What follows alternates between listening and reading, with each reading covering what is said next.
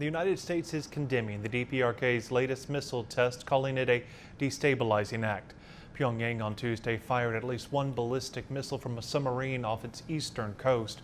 Washington, though, says the launch posed no threat. Still, it's the country's latest weapons test as it pushes forward with military advances despite international sanctions over its nuclear program. This comes also as envoys from South Korea, Japan, and the United States are meeting in Washington to discuss the tensions.